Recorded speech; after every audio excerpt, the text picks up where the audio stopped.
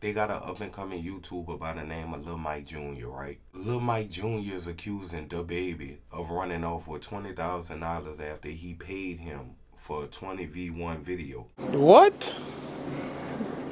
Bro, what are you talking about, man? 20 men or 20 women get in line and you pick whether you gonna be fucking with them from round one to three. Usually they're higher celebrities or up and coming celebrities. Anybody and everybody really with a name. So Lil Mike Jr. says in this post, I'm only 19, bro. Why run off with my money? Please don't scam me, man. That was supposed to be my breakout video.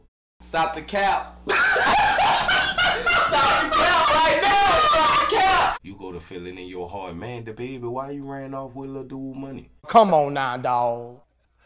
Come on, man. He only 19, what type of shit you on? This was DaBaby's response. Boy, you through. You're over with. It's done.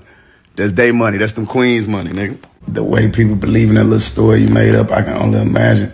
People probably be believing this 20 verse one shit like this shit for real. Like you don't be paying these girls to do this. So so this, this we gonna do.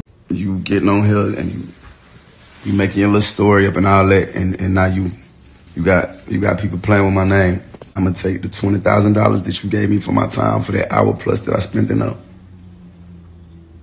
And I'm gonna give a thousand dollars a piece to them 20 girls that you paid to let a lame nigga like you disrespect them. Now, when he sit up there and say he gonna pay each and every woman a thousand dollars a piece, that sound righteous, amen. Because them women be on there doing anything for fame. They be selling their soul. You will hope that they getting a check for the shit they be doing. Psych!